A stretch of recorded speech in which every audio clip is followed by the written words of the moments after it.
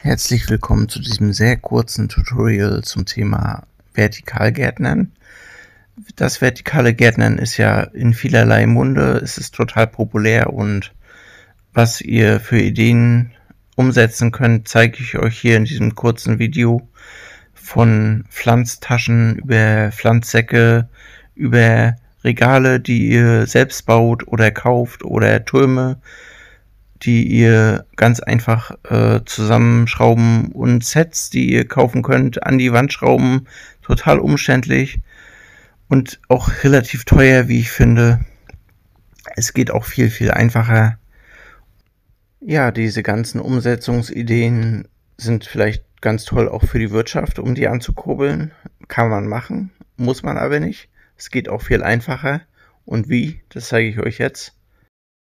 Man nehme einfach so einen alten Schuhschrank mit mehreren Fächern, klappe den einmal auf, dann kann man da Noppenfolie rein nageln, legen oder kleben oder schrauben, wie auch immer. Ihr müsst diese Noppenfolie natürlich zuschneiden.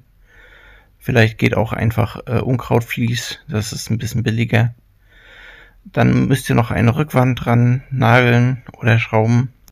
Nun wird das ganze Ding einfach befüllt mit Pflanzerde. Ihr könnt auch Blumenerde nehmen. Und zu guter Letzt werden einfach die Pflanzen reingesetzt und ihr könnt Spaß haben mit dem vertikalen Garten. Juhu! Gefühlt gibt es ja mittlerweile 12 Millionen verschiedene Varianten von Hochbeeten. In diesem Fall hier habe, haben wir mit unserer kleinen Tochter ähm, ein Pflanzregal bestückt mit Blumen und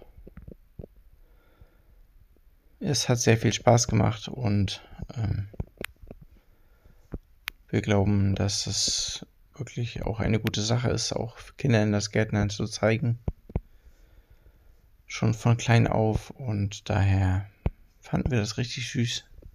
Und sie hat das richtig toll gemacht.